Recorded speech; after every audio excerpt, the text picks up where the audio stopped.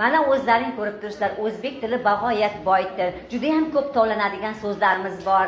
Masalan misol keltirsak olma. Biror narsani olma yeydigan olmani misol keltirish mumkin a qani olmaga kim nima deya oladi? Olma bu meva yoki biror narsani olma deb aytish mumkin. Judayam yaxshi. O'tir qizim o'tir. Mana qaranglar shunaqa so'zlardan yana kim nima so'z biladi? Lozim juda yaxshi. Lozim yana qanaqa ma'noli so'zlar ayta olamiz? Besh baho olmoq lozim. Mana ko'rdilaringmi? Judayam chiroyli boy so'z ekan. Yana kim javob beradi? Lozim tushib ketdi. Nimaga kulasizlar? Nega kulasizlar? Qanaqa lozim? Qanaqa lozim tushib ketadi